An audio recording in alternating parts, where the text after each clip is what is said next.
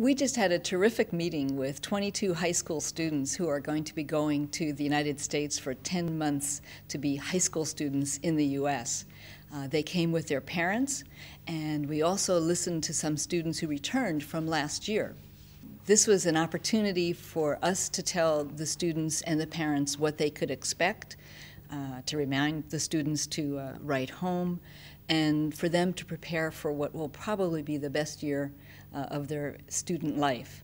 Uh, they will live for a year with uh, American families, learn about American culture, society, and values, and hopefully be the, the link between people of the United States and the people of Israel in an exchange program that brings our people closer together through student exchanges. These programs are of proven value because the, people do learn about one another's culture. Uh, these students will come back with a greater understanding of how Americans think, how they feel, and how they look towards the world. Uh, the State Department is funding this program as we have for many years. So, our job has been to, scout out the youth of Israel to find the best students uh, with the most potential to adapt, be flexible, and do well in a foreign uh, culture. Uh, so our job is to matchmake, if you will, find the best students for the best families in America. My name is Myra, and I'm from South Dakota, and I am here to talk about uh, being a host parent for a student from Israel uh, through the exchange student program called Yes, and this is Doa Hajazi, and she is the family that we hosted, uh, or she's the child that we hosted, the exchange student that we hosted from Israel. She lives in Tamra, and we have come here, myself and my family have come here to stay with her for two weeks and um, just learn their culture and their way. And we've met a wonderful family and friends here in Israel through the exchange program. I'm here because my daughter is leaving to the States as part, she's taking part in the YES program, exchanging young students.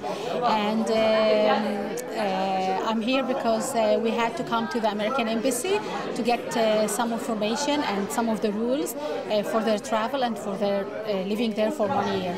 I am excited, nervous, uh, not really, because I know that she's going to be really in good hands. And the whole way of dealing with things are getting really very in a good way. I mean, like uh, knowing the family before leaving or letting our children leave, uh, knowing where they are going to be located and in, uh, in what family they're going to live, and to get to know the family before really helps you to feel so calm and secure about your son or your daughter, how is he leaving to the States. So we already know the family. Uh, I've talked to the mom, to the seems host to mom. So nice. Yeah, and she sounds really great and she seems so good. Uh, we, we, she sent us some pictures of her. And uh, so I'm, I'm relaxed, I'm confident. And um, I've been working with this project as an English teacher in my school six years ago. I've sent many of my students uh, from Akko, from Makar village, uh, and uh, from Kfar Yassif as well. And uh, now it's her turn, my daughter. Uh, I'm so exciting, a little bit scary, uh, but I know that you know it's gonna be a wonderful adventure and a wonderful year. So I will learn a lot of things about myself about other people, about other cultures. Where are you going? I'm going to Michigan, to Benzonia. It's a, it's a small village in Michigan.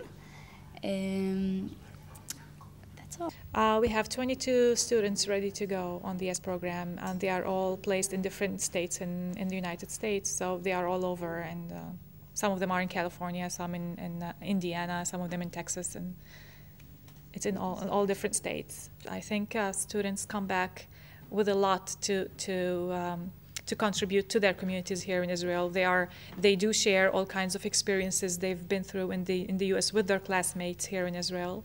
Um, uh, they teach them about community service. We're not very involved in community service here, and this main subject or this main project is, is one of the things that we would like our youth to be aware of and to be more involved in. So I believe it is a very positive experience.